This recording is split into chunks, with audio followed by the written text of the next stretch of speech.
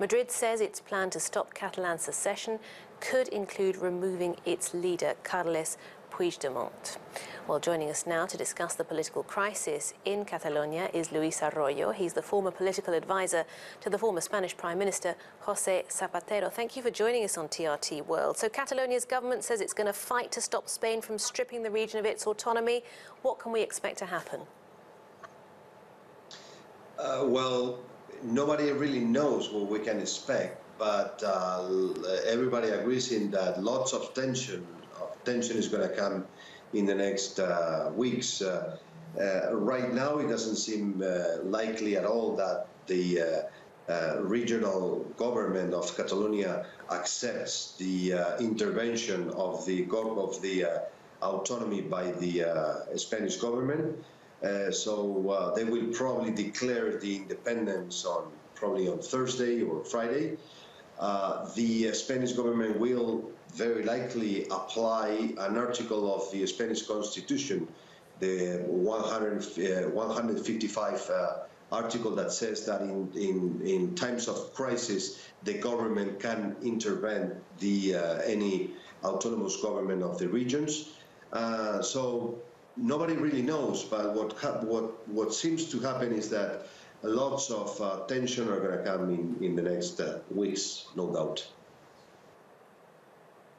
Indeed, and how much of the crisis then do you think is down to the Spanish government's handling of the situation? The government that you worked for agreed for greater autonomy for Catalonia, didn't it? And then that was annulled in 2010.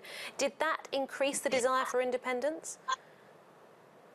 Well, it was during the government of Zapatero. Uh, when when the uh, uh autonomy of Catalonia, when the government of Catalonia started to ask for um, more com uh, competencies, more powers in terms of uh, the economy, in terms of the respect for the language, for the education, etc. And it seems that neither the uh, government of Zapatero nor the government, the conservative government of the PP afterwards, uh, they were able to uh, uh, to probably to offer what the uh, government of Catalonia was asking for. But remember that there are two very important facts uh, in the actual situation, in the current situation in Catalonia and Spain. First, that mm, mm, there is not a real majority of Catalonians that want the independence.